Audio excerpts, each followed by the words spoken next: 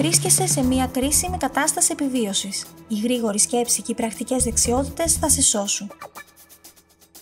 Οι περισσότεροι γνωρίζουμε κάποιες τεχνικές επιβίωσης. Η εγκυρότητά τους όμως είναι αμφισβητήσιμη, καθώς αυτές τις τεχνικές τις έχουμε μάθει από τηλεοπτικές εκπομπές, κινούμενα σχέδια και ταινίες. Επαναλαμβάνονται τόσο τακτικά που πιστεύουμε ότι είναι αληθινές.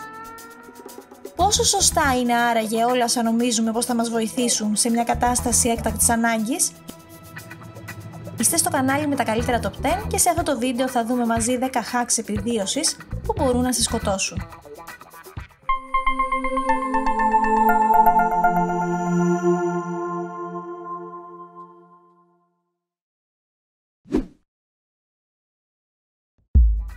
Μια από τις μακροβιότερες συμβουλές σε περίπτωση σεισμού είναι να σταθούμε κάτω από το κάσωμα μιας πόρτας. Και αυτό ακριβώς είναι το πρόβλημα, ότι κάποτε ίσχυε. Επειδή οι πόρτες ήταν τα ασφαλέστερα σημεία σε ένα κτίριο. Ωστόσο, τα ασύγχρονα κτίρια είναι κατασκευασμένα με πολύ πιο ανθεκτικά υλικά και σχέδια από ό,τι στο παρελθόν. Τότε λοιπόν ίσχυε. Πλέον το να στέκεστε σε μια πόρτα κατά τη διάρκεια του σεισμού μπορεί να σας εκθέσει σε κίνδυνο από πτώση συντριμιών και άλλων πραγμάτων και ο κίνδυνος τραυματισμού αυξάνεται. Οι οδηγίες που δίνει η πυροσβεστική σε περίπτωση σεισμού είναι οι εξής. Αν είστε μέσα στο σπίτι, πρέπει να διατηρήσετε την ψυχραιμία σας. Να καλυφθείτε κάτω από κάποιο ανθεκτικό έπιπλο. Τραπέζι, γραφείο, θρανείο. Γονατίστε και κρατήστε με τα χέρια σας το πόδι του. Αν δεν υπάρχει ανθεκτικό έπιπλο, γονατίστε στο μέσο του δωματίου, μειώνοντας όσο γίνεται το ύψος σας και προστατέψτε με τα χέρια το κεφάλι και τον αυχένα σας. Απομακρυνθείτε από μεγάλες γυάλινε επιφάνειες, παράθυρα, γυάλινα χωρίσματα και άλλα ή έπιπλα για αντικείμενα που μπορεί να σας τραυματίσουν. Μην προσπαθήσετε να απομακρυνθείτε το σπίτι και μην βγείτε στο μπαλκόνι. Οχ, κόπηκες. Τι κάνεις; Όλοι γνωρίζουμε ότι το ενόπνευμα έχει αποστηριωτικές ιδιότητες. Σωστά. Σε αντίθεση με τη δημοφιλή πεποίθηση, το αλκοόλ είναι πολύ σκληρό και μπορεί στην πραγματικότητα να βλάψει τον υγιή ιστό γύρω από την πληγή, καθώς και να προκαλέσει περαιτέρω βλάβη στον πληγωμένο ιστό που προσπαθείτε να θεραπεύσετε εξ αρχής. Αυτό σημαίνει ότι αυτή η μέθοδος μπορεί στην πραγματικότητα να καθυστερήσει την επούλωση της πληγής και να προκαλέσει ερεθισμό του δέρματος. Καθιστά τη διαδικασία επούλωσης μακρύτερη και πιο επώδυνη. Ανταυτού, η συνιστόμενη προσέγγιση είναι να καθαρίζετε τις πληγές με ήπιο σαπούνι και νερό, τα οποία είναι απολύτως ικανά να σας απαλλάξουν από τυχόν δυσάρεστα βακτήρια. Πλένετε απαλά την πληγή αφαιρώντας κάθε ορατή βρωμιά ή υπολείμματα και τη στεγνώνετε με ένα καθαρό πανί. Καταλαβαίνω ότι άμα αποκλειστούμε στην έρημο θα διψάμε.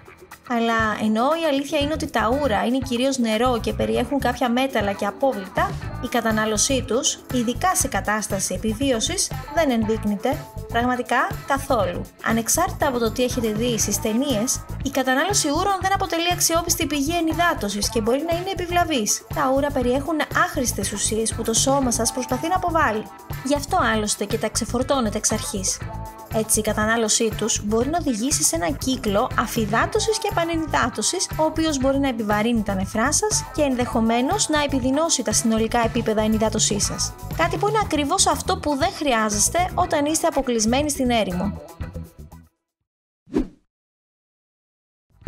Σίγουρα έχετε ακούσει πως μπορείτε να φάτε το χιόνι αν διψάτε. Το χιόνι είναι φτιαγμένο από νερό, οπότε είναι κάπως λογικό ότι αν είστε εγκλωβισμένοι σε ένα παγωμένο περιβάλλον, μπορείτε να το πιείτε για ενυδάτωση.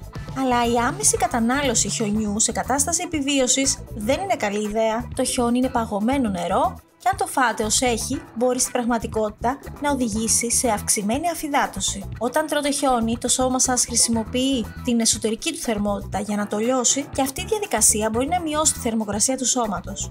Το χιόνι μπορεί επίσης να αποτελέσει πηγή μολυσματικών ουσιών και καθαρσιών, οι οποίες μπορούν να επιβαρύνουν περαιτέρω το σώμα. Η κατάποση μολυσμένου χιονιού μπορεί να οδηγήσει σε πεπτικά προβλήματα και άλλα προβλήματα υγείας, επιδεινώνοντας μια ήδη δύσκολη κατάσταση. Αυτό που συνιστάτε είναι να το λιώσουμε πρώτα πριν το πιούμε για να αποφύγουμε και τα δύο ζητήματα. Επίσης, δεδομένου ότι το χιόνι αποτελείται κυρίως από νερό, θα χρειαστούμε πολύ περισσότερο από ό,τι νομίζετε για να το πιούμε παρκώς.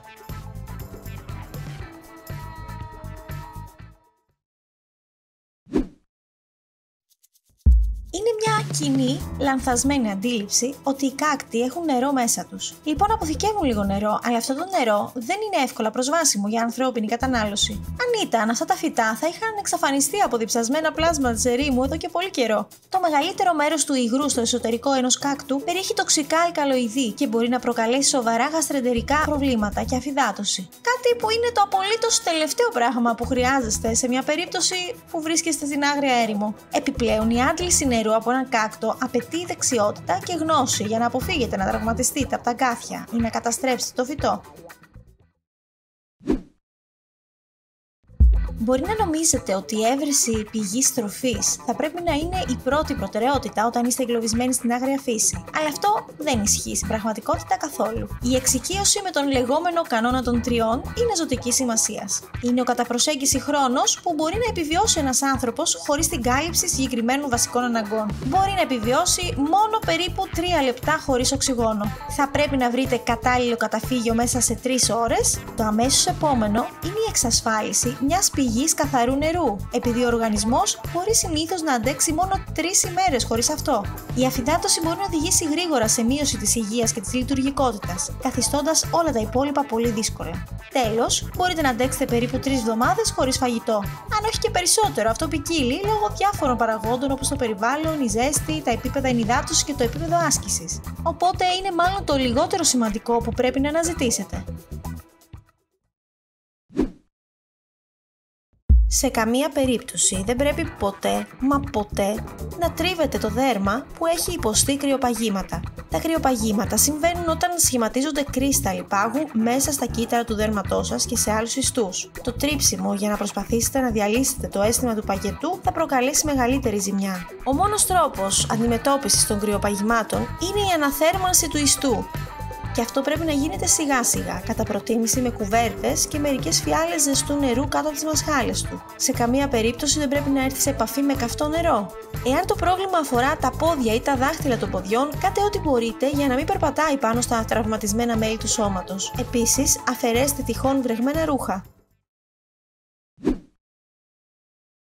Και τώρα θα δούμε για έναν από τους πιο γνωστούς μύθους που είναι όμως εντελώς ψευδής. Το να κατουρίσουμε πάνω σε τσίμπημα τσούχτρας. Αυτό το καταστροφικό τσίμπημα από το εξωγήινο αυτό θαλάσσιο πλάσμα. Κολυμπάμε αμέριμνοι και ξαφνικά νιώθουμε αυτό το τσίμπημα. Και με το που βγούμε στην ακτή, όλοι από την παρέα μας μας κυνηγούν για να μας κατουρίσουν. Ο τοξικολόγος Christopher Holstedge από το Πανεπιστήμιο της Βιρτζίνια έχει ασχοληθεί με την έννοια των ούρων ως παυσίπονο για το τσίμπημα της μέδουσας και μαντέψτε, το αποκαλεί άχρηστο. Το γλυκό νερό επιδεινώνει τις νηματοκίστης στο δέρμα που προκαλούν τον πόνο, ενώ το αλάτι και οι ηλεκτρολίτες που βρίσκονται στα ούρα θα μπορούσαν θεωρητικά να βοηθήσουν, αν ο δότης δεν είναι σοβαρά φυδατωμένο. Τα ούρα του θα εξακολουθούν να μοιάζουν πολύ με το γλυκό νερό και είναι πιθανό να εντείνουν την ενόχληση. Ο τοξικολόγος προτείνει το αλμυρό νερό ως το καλύτερο άμεσα διαθέσιμο υγρό έκπλησης.